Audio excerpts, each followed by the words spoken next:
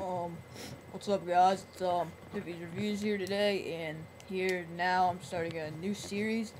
It's um, NHL 2011-2012 predictions. Um, I'm gonna be doing this team by team.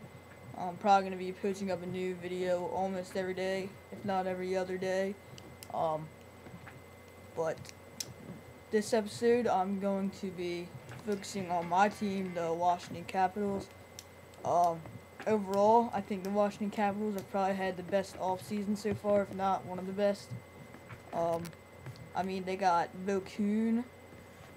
That was probably their best move, or one of the best moves. Um, overall, I think the best move was trading Varlamov.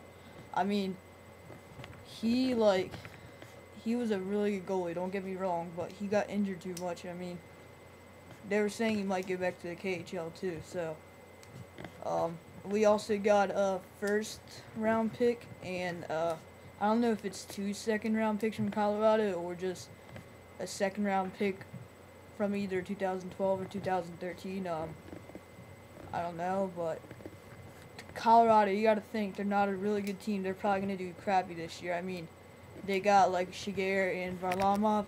Um, I think Varlamov's just gonna collapse and Giguere I think was injured.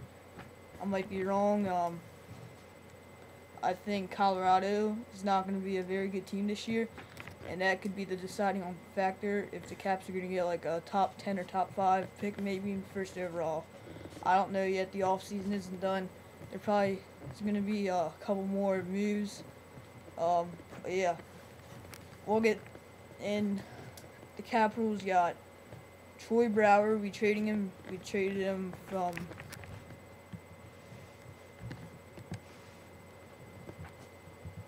Uh, sorry there for the delay.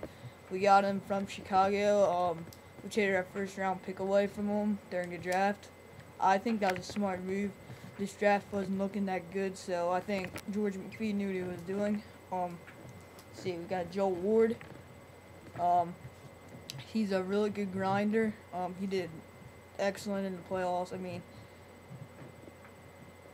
I don't know his exact stats, but I know that they were really good. Um, let's see. We got back good old boy Jeff Halpern. If any of you Caps fans know, he was um grew up in Potomac, Maryland. He was a really good player. He got signed by the Caps when he was young. Um, yeah. Let's see what else we got. We got um we got um, Thomas Vokoun. I think he's going to be good this year. I mean, he was on Florida. Come on. And he was still putting up like a 92 save percentage. I mean, don't get me wrong. He's going to be good with the Capitals. And finally has a good team to play with.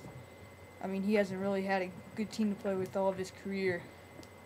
Um, besides when he was in Nashville. And let's see who else we got. Um, yeah, that's pretty much all we got. Um, we got rid of Hannan. Um, we traded away Fehr, and we traded him for this prospect, Danick Paquette. I don't think he's going to be that good.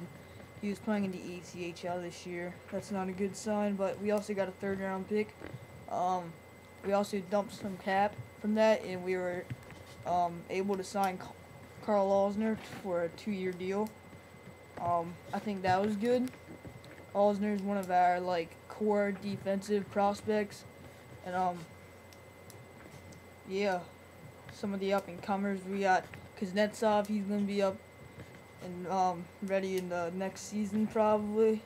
Um, we got Dmitry Orlov. He was a second round pick in 2009. He's gonna be playing with the Bears this year. Um, see what else. We got Cody Eakin and Mathieu Perreault. Um, I think they're going to be switching from time to time. Here, I'll give you the lines right now. I think picking lines.